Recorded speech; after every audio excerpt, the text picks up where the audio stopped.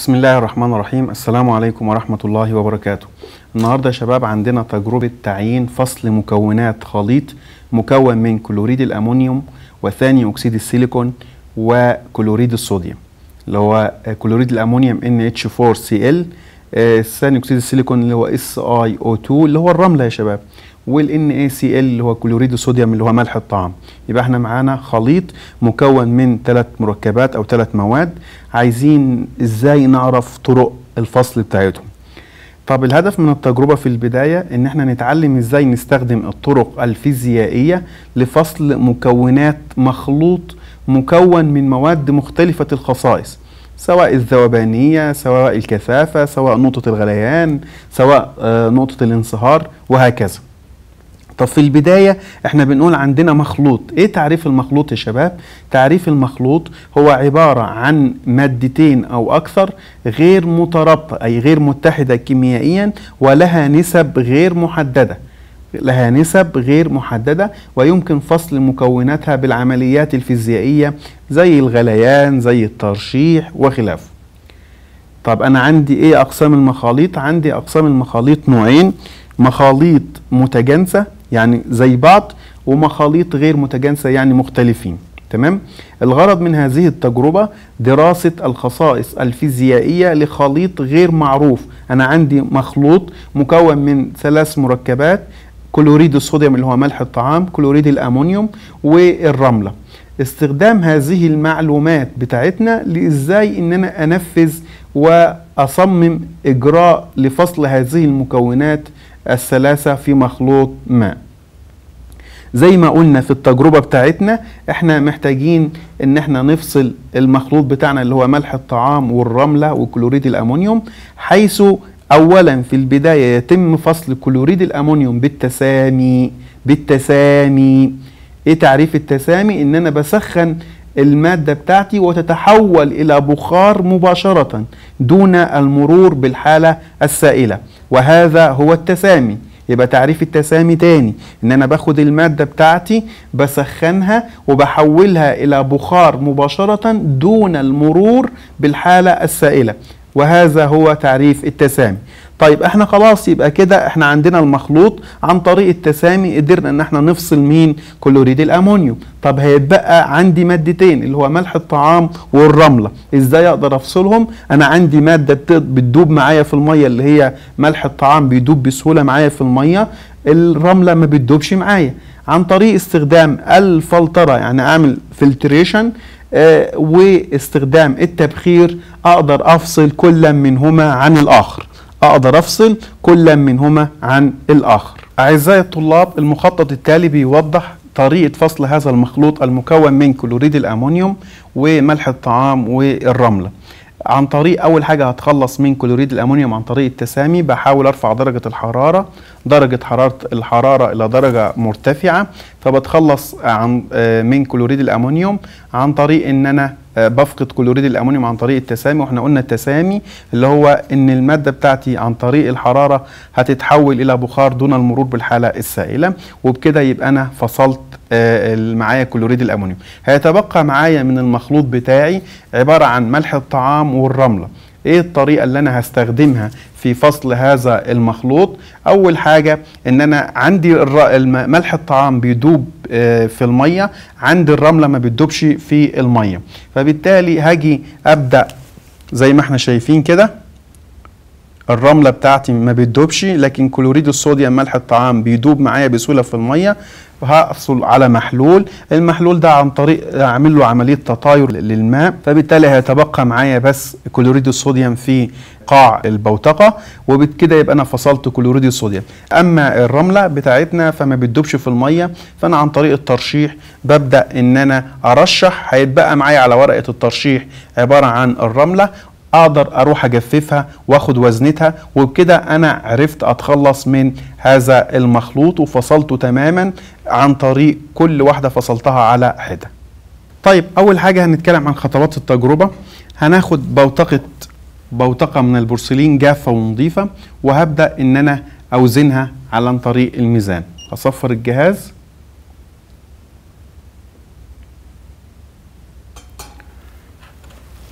وهاخد وزن البوتقة وهي فارغة. وطلعت معانا 28.86 نكتب بقى في النتائج العملية عندنا 28 وزن البوتقة 28.86 جرام. وده وزن البوتقة فارغة وبنرمز لها بالرمز W1 طيب هناخد البوتقة وهنضع فيها كمية من المخلوط حوالي من 2 إلى 3 جرام. مختلف النسب طبعا. بعد ما وضعت عينة المخلوط اللي هي وزنها من 2 إلى 3 جرام في بوتقة البورسلين هنوزن البوتقة وبها العينة. نصفر الجهاز.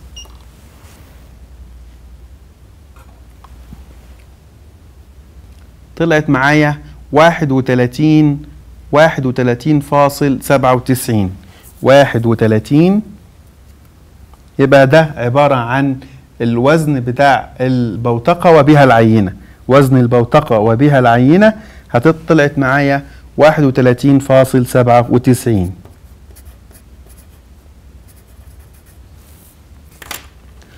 طيب يبقى اذا وزن العينة بتاعتنا وزن العينة بتاعتنا اللي هو المخلوط بتاعي بيساوي ال W3 اللي هو ال W2 اللي هو وزن العينة بيساوي ال W3 ناقص ال W1 طيب ال W3 ده عبارة عن وزن العينة والبوتقة اللي إحنا قلنا 31.97 ناقص وزن البوتقة وهي فارغة 28.86 يبقى هنجيب وزن العينة اللي هي ال W2 طلعت تقريبا معايا 3.1 جرام. ده وزن العينة بتاعتي. طيب الخطوة اللي بعد كده إن إحنا هنقوم نسخن البوتقة بتاعتنا اللي فيها المخلوط بتاعنا ونسخنها في يفضل في فرن عند درجة حرارة 500 درجة مئوية وكل شوية تفضل تحرك في العينة عشان آه آه نقلب العينة كويس. طيب عزيزي الطالب بعد أن تم تبخير العينة ووضعها في الفرن عند درجة حرارة عالية حوالي 500 درجة مئوية آه نلاحظ إن في فقدان في وزن البوتقة وهنشوف ده عمليا دلوقتي.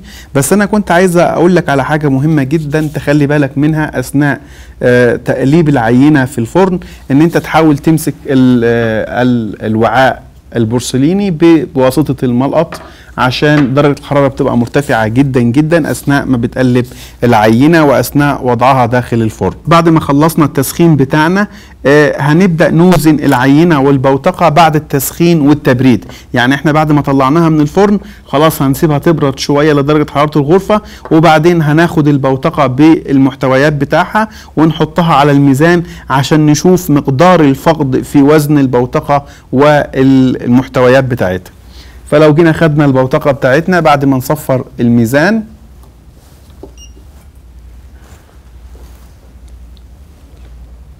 هلاقي إن وزن العينة والبوتقة بعد التسخين والتبريد دي هرمز لها بالرمز W4 31.52 واحد وتلاتين فاصل اتنين وخمسين. جرام. يبقى اذا وزن مادة كلوريد الأمونيوم اللي إحنا خلاص تخلصنا منها بتساوي W3 اللي هو وزن العينة والبوتقة ناقص وزن العينة والبوتقة بعد التسخين والتبريد يعني واحد وتلات يبقى هقول إن W خمسة اللي هي وزن عينة كلوريد الأمونيوم بتساوي واحد وتلاتين فاصل سبعة وتسعين ناقص واحد وتلاتين فاصل اتنين وخمسين. هتطلع معايا خمسة وأربعين من مية جرام. هتطلع معايا خمسة وأربعين من مية جرام. وبكده يبقى إحنا خلاص عرفنا وزن عينة كلوريد الأمونيوم. 45 من 100 جرام. وبكده إحنا نكون اتخلصنا من أو فصلنا كلوريد الامونيوم عن المخلوط بتاعنا. تبقى معانا بس ملح الطعام والرملة.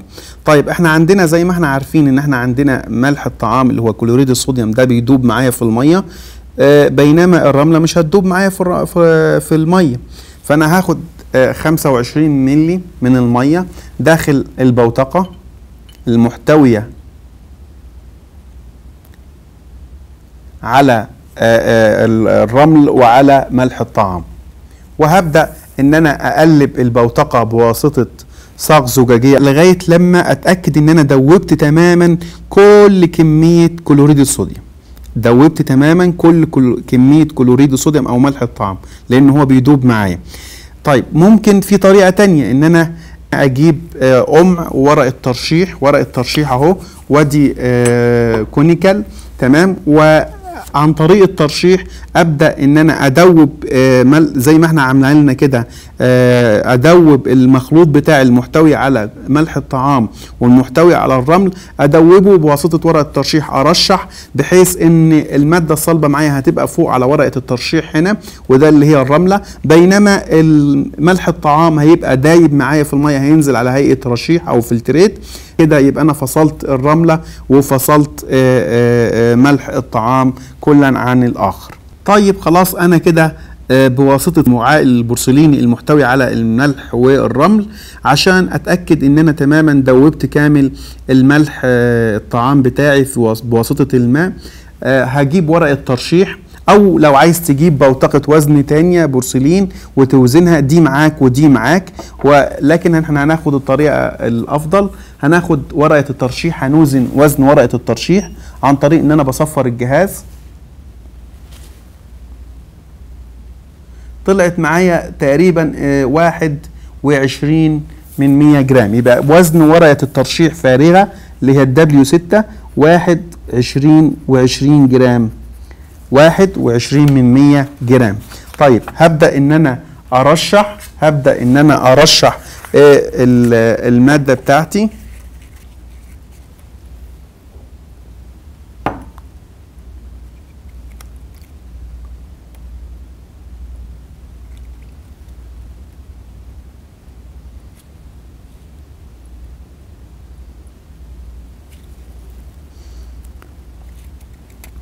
طبعا بالتأكيد هيتبقى معاك بعض المواد الصلبة من الرملة بواسطة برضو بعض الماء مرة أخرى.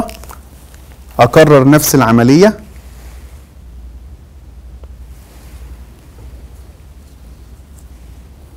بحيث ان أنا أنزل كل الكمية على ورقة الترشيح. طبعا إحنا معانا كلوريد الصوديوم دايب معايا في المية بينزل على هيئة رشيح تحت. بينما المادة الصلبة اللي هي الرملة بتتبقى معايا على ورقة الترشيح.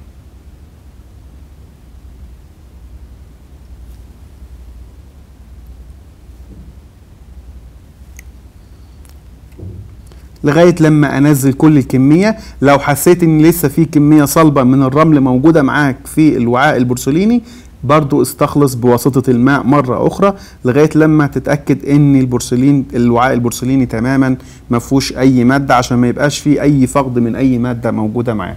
طيب عزيزي الطالب بعد ما أن تم تجفيف العينة وكنا عملنا في الأول آه ترشيح. خدنا المادة الصلبة اللي هي موجودة على ورقة ورقة الترشيح وهي عبارة عن الرملة. وبعدين المادة الفلتريت أو الرشيح دي كانت عبارة عن كلوريد الصوديوم اللي هو ملح الطعام دايب في المية. فهبدأ إن أنا آه رحت جففت ورقة الترشيح اللي عليها الرملة دي وهرجع أعيد الوزنة بتاعتي عشان أشوف مقدار كمية الرملة اللي موجودة معايا في التجربة. هصفر الجهاز واحط ورقة الترشيح بعد ما جففتها وعليها ال ال الرملة 3.30 3.30 جرام. يبقى 3 علامة 30 جرام. ده عبارة عن W7 أو W7 اللي هي وزن الرملة مع ورقة الترشيح بعد التجفيف. بعد التجفيف. طب خلي بالك ما انت كنت جايب قبل كده وزن ورقة الترشيح وهي فارغة. أطرح الكمية وزن الرملة مع ورقة الترشيح بعد التجفيف ناقص ورقة الترشيح وهي فارغة يبقى هتديني 3 علامة 30 ناقص 1 علامة 20 اللي هي وزن ورقة الترشيح هتطلع معايا 2.10 جرام. 2.10 جرام. خلاص؟ يبقى كده إحنا عرفنا نجيب وزن الرملة. خلاص جبنا وزن الرملة وقبل كده جبنا الوزن بتاع كلوريد الأمونيوم. هيتبقى معايا. طب أنا عندي وزن المادتين اللي هي ال W 9 عبارة عن وزن كلوريد الأمونيوم مع وزن الرملة. إحنا وزن كلوريد الأمونيوم كان عبارة عن 45 ودي هرمز لها بالرمز W 9 طبعا دي W 8 W 9 بتساوي اللي هو آه وزن كلوريد الأمونيوم 45 من 100 زائد وزن الرملة اللي طلعت معانا 2 وعشرة من 100 جرام بتساوي يبقى اذا وزن المادتين كلوريد الامونيوم مع الرملة هتطلع معايا 2 وخمسة وخمسين من 100 جرام. يبقى اذا دلوقتي أنا معايا أساسا وزن المادة آه، في الأول خالص موجودة معايا. كانت وزن العينة عبارة عن 3.1 جرام. أقدر أطرح منها وزن المادتين اللي إحنا حصلنا عليهم اللي هو وزن كلوريد الأمونيوم والرملة آه، وزن وزن كلوريد الأمونيوم والرملة. فهتديني على طول. وزن كلوريد الصوديوم اللي هو ملح الطعام. هنشوف ال W 10 بتاعتي. W 10 دي عبارة يا شباب عن وزن كلوريد آه، كلوريد الصوديوم. وزن ملح الطعام اللي هو كان عبارة عن رشيح معايا في آه، ال- ال- الدورق المخروطي. وهبدأ إن أنا أبخر الماء الماء بتاعي عشان يتبقى معايا آه، كلوريد الصوديوم موجود في قاع ال- العبوة بتاعتي. يبقى اذا W 10 اللي هو وزن كلوريد الصوديوم بيساوي وزن العينة بتاعتي اللي هو ال W 2 وزن العينة 3.1 جرام ناقص وزن المادتين اللي إحنا حصلنا عليهم اللي هو وزن الرملة مع كلوريد الأمونيوم اللي هو كان مجموعهم 2.55 من 100 جرام. يبقى إذا طلع معايا وزن كلوريد الصوديوم 55 من 100 جرام. خلاص؟ وبكده يبقى أنا قدرت إن أنا أفصل المخاليط المواد عن بعضها فصلت المخلوط ده عن بعضه اللي هو محتويات المخلوط يعني وعرفت وزن كل واحدة فيهم آه، بالتفصيل. إحنا نرجع تاني نعيد بسرعة الكلام اللي إحنا قلناه ده. إحنا عبارة النهاردة كانت تجربتنا عن معانا مخلوط بيتكون من أكثر من مادة بنسب مختلفة. إحنا المطلوب مننا إزاي باستخدام الطرق الفيزيائية للفصل ان أنا أقدر افصل محتويات هذا المخلوط. فقلنا إن إحنا المخلوط اللي معانا كان عبارة عن الرملة مع آه كلوريد الصوديوم ملح الطعام مع آه آه آه، كلوريد الأمونيوم. طيب إحنا كل اللي عملناه في الأول إن إحنا خدنا بوتقة بورسلين آه، في جافة وفارغة وزناها ورمزنا ورمزنا بالرمز دبليو فكانت وزنها وزن البوتقة فارغة كانت 28.86 جرام. بعدين خدنا عينة من المخلوط بتاعتي وليكن من 2 إلى 3 جرام وابتدينا إن إحنا نحطهم جوه البوتقة ووزنا العينة والبوتقة مع بعض ورمزنا لها بالرمز W3 ف W3 طلعت معايا 31.97 من 100 جرام. يبقى اذا وزن العينة اللي جوه بوتقة البوتقة عبارة عن W3 وزن العينة والبوتقة ناقص وزن البوتقة وهي فارغة اللي هي ال W واحد. طلعت معايا ال W 2 اللي هي وزن العينة 3.1 جرام. اذا وزن العينة والبوتقة بعد التسخين والتبريد كان 31.52 من 100 جرام. طبعا إحنا حطيناها في الفرن في درجة حرارة عند 500 درجة مئوية. هيحصل تسامي لعينة كلوريد الأمونيوم وهيبدأ يحصل فقد في آه، وزن العينة والبوتقة بعد التسخين. وتبقى هنشوف الكلام ده إيه اللي حصل. طلعت معايا وزن العينة والبوتقة بعد التسخين والتبريد ورمزنا لها بالرمز W4 31.52 أي أن هناك فقد في الوزن. إذا ممكن من الحالة في الحالة دي نقدر نجيب مقدار الفقد في الوزن اللي هو عبارة عن وزن كلوريد الأمونيوم ورمزنا له بالرمز W5 كانت عبارة عن W3 وزن العينة والبوتقة ناقص W4 اللي هو وزن العينة والبوتقة بعد التسخين والتبريد. فطلعت معايا 45 من 100 جرام. وبكده نكون حصلنا على وزن كلوريد الأمونيوم اللي هو كان طلع معانا 45 من 100 جرام. طيب أنا دلوقتي اتبقى معايا مادتين من المخلوط عبارة عن الرملة مع كلوريد الصوديوم ملح الطعام. عايز أفصلهم. طب ما أنا من حسن الحظ إن أنا عندي مادة بتدوب معايا في المية اللي هي ملح الطعام المادة الثانية اللي هي الرملة ما بتدوبش معايا في المية. طب بواسطة المية أبدأ أضيف جزء 25 مللي من الماء وأبدأ أقلب لغاية لما أتأكد تماما من ذوبان كامل آه، كلوريد الصوديوم. بواسطة ورقه ترشيح اوزن ورقة الترشيح. طبعا إحنا وزننا ورقة الترشيح في الأول فارغة وهي لوحدها كده طلعت 21 من 100 جرام. طيب اذا لما جيت رشحت أنا اللي اتبقى معايا على ورقة الترشيح من فوق ده عبارة عن المادة الصلبة اللي هي الرملة آه قدرت إن أنا أروح أجففها أجفف ورقة الترشيح بمحتوياتها اللي هي الرملة لقيت إن وزن عينة الرملة مع ورقة الترشيح بعد ما جففتها طلعت 3.30 من 100 جرام. يبقى أقدر دلوقتي أجيب وزن عينة الرملة عبارة عن وزن عينة الرملة مع ورقة الترشيح ناقص وزن ورقة الترشيح لوحدها هيطلع معايا وزن الرملة 2.10 جرام. طيب إذا أنا عندي وزن المادتين اللي هم حصلت عليهم كلوريد الأمونيوم اللي هي 45 من 100 جرام زائد وزن الرملة اللي أنا حصلت عليها لسه دلوقتي 2.10 من 100 جرام طلعت عندي 2.55 من 100 جرام. طب ما أنا عندي وزن العينة أساسا في البداية المخلوط تماما في البداية كان 3.1 أقدر دلوقتي أجيب وزن كلوريد الصوديوم اللي هو ملح الطعام فهيديني 3.1 ناقص وزن المادتين اللي أنا لسه جايبهم حالا 2.55 من 100 هيديني 55 من 100 جرام. عشان تتأكد كمان أنت عندك أدي الوزن 55 من 100 بتاعت كلوريد الصوديوم وعندك وزن المادتين أهم اللي هو وزن الرملة مع مع آه كلوريد مع الكلوريد الأمونيوم 2.55 لو جمعتهم تقريبا هيطلع الوزنه بتاعتي بتاعت المخلوط 3.1 جرام. طب لو أنت عايز تجيب النسبة المئوية لو انت عايز تجيب النسبة المئوية لكل مادة من مكونات المخلوط اولا النسبة المئوية لمادة كلوريد الصوديوم اللي موجودة معايا كانت في المخلوط عبارة عن وزن كلوريد الصوديوم اللي انت حصلت عليه في النهاية على وزن المخلوط الكلي ضرب 100 يديني النسبة المئوية. فهقول إن النسبة المئوية بتاعة كلوريد ال NaCl بتساوي عبارة عن وزن كلوريد الصوديوم طلع معانا 55 من 100 جرام على 3 وزن المخلوط في البداية 3.1 ضرب 100 يديني النسبة المئوية لمادة كلوريد الصوديوم.